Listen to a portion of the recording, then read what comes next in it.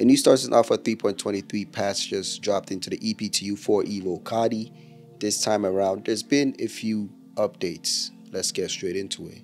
Under features and gameplay under the location category, they've uh, done water render polish pass. It says they push default water near clips out from 2 centimeters to 5 centimeters. Support caustic shaded down to depths of 1 kilometer in oceans and it was 25 meters and they made further performance optimizations. Under the AI category, they've added new Mayrock idle animations. They've also updated the fitness AI in the new Babbage Commons with new exercise behavior.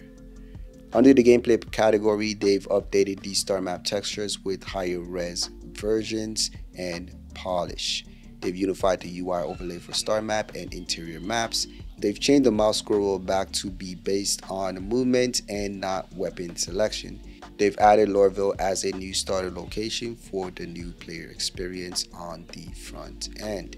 On the ships and vehicles, they've done a Freelancer component pass. It says polish and inclusion of the Freelancer series, component, door, and animations. Under bug fixes, they made quite a few. They fixed multiple issues that allows NPCs to stand on chairs and benches. Man, we've been seeing this since like ever. They fixed issues where some shopkeepers in New Babbage are stood away from the counter, not interacting with the player. They fixed an issue where you're unable to pin targets that are currently locked. They fixed an issue where quantum interdiction fields do not have a marker. They also fixed an issue where after accepting a mission, it's not showing that it's tracking. They fixed an issue where swap behavior doesn't trigger via equipment, inspect, or customize, even though the conditions are valid. Now this is for your character.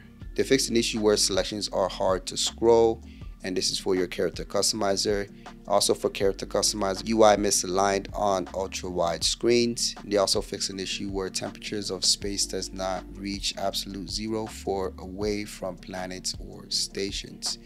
They also fixed an issue where missing seats access for the Saber Raven and they fixed an issue where you're unable to use the tractor beam to remove the cargo pods.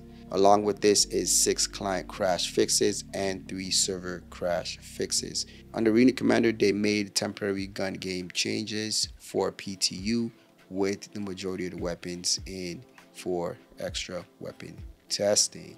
Just to let y'all know, my organization, Phase 1 Industries, is now recruiting new and veteran players. If you're interested, you can find our Discord in the description down below. Don't forget to leave a like, subscribe. I'll catch you guys on the next video.